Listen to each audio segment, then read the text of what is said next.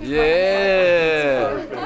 Yeah, you like that one. At first, we did our uh, Coats for a Cause event, and we did that a couple weeks ago. And man, we had great turnout, man. Raised tons of money for the Denver Children's Home, and uh, just be able to provide them with clothing, with uh, warm clothing, coats, uh, uh beanies, um, anything to keep them warm. And uh, these kids, they don't have, they're at very at risk. They don't have the, uh, sometimes they don't have the parents that are involved and uh, we're just uh, it's just an opportunity for us to be able to provide them with those, with the proper clothing for this winter. You can just see that they need it. They need they um, they don't get to go like a lot of kids go to the mall and pick out stuff that they always want. You know what I mean? So it's kind of like we brought the mall to them. So it's kind of like they get tons of different choices to choose from.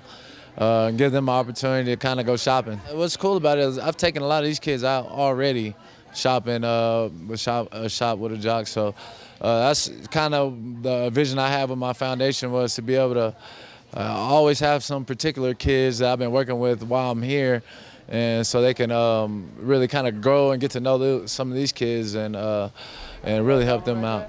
I think it was something that we'll have to do it every year. Something that's very needed out here in Denver, especially uh, just looking at the homeless rates are skyrocketing in here and uh, something that uh, is very needed for these kids. These kids don't have, they're very at risk and they need it.